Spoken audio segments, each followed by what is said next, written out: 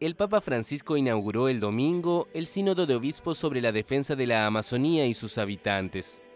Ante más de 200 obispos y cardenales, así como numerosos indígenas de la Amazonía, el sumo pontífice condenó los incendios y los nuevos colonialismos.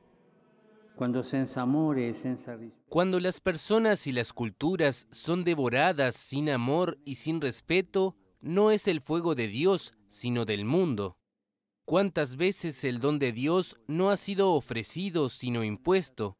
¿Cuántas veces ha habido colonización en vez de evangelización?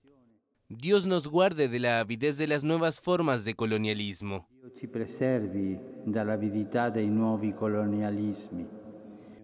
Detener la deforestación y la devastación de las comunidades indígenas son claves para el movimiento católico de la Amazonía y son los dos puntos de partida de los debates que se iniciarán el lunes en el Vaticano.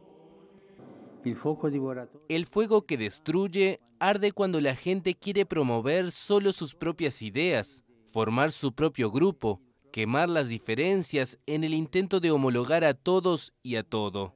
Tutti e tutto. Considerado el pontífice más sensible a los problemas ecológicos tras publicar en 2015 la encíclica Laudato Si, el Papa argentino quiere movilizar y sensibilizar a los dirigentes del planeta sobre los grandes males de este enorme territorio, con más de 30 millones de habitantes.